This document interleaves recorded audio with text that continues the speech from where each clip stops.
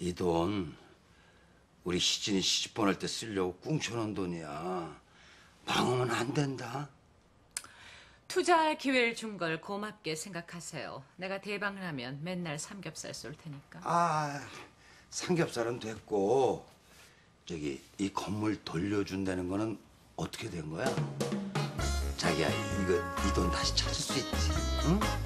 안 망하는 거지, 그지?